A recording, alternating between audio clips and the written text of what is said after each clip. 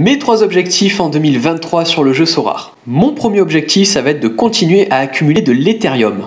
Depuis que j'ai commencé en avril 2021, j'ai quasiment gagné un Ethereum grâce au système des paliers en All-Star Rare. Mais tu le sais certainement déjà, ce système-là va être modifié puisqu'ils vont lancer une nouvelle compétition qui s'appellera le mode KP fin janvier 2023.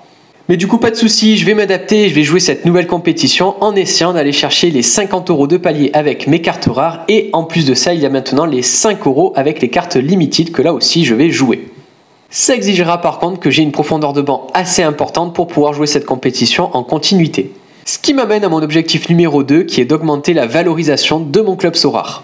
Aujourd'hui j'ai un peu plus de 5000 euros de cartes à mon actif avec 1000 euros investis au total dans le jeu et je me fixe comme objectif d'augmenter ma valorisation à plus de 8000 euros avant la fin de l'année. Je précise que je ne rajouterai pas d'argent à nouveau dans le jeu et que je ne retirerai aucun gain. Et mon troisième et dernier objectif, ça va être de continuer à augmenter l'aspect communautaire avec vous.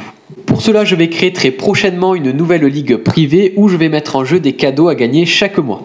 Mon idée, c'est qu'on puisse s'amuser tous ensemble et récompenser les managers qui sont les plus réguliers dans le jeu. Et toi, quels sont tes objectifs en 2023 sur le jeu Sora? N'hésite pas à me le mettre en commentaire pour que je puisse voir ceci.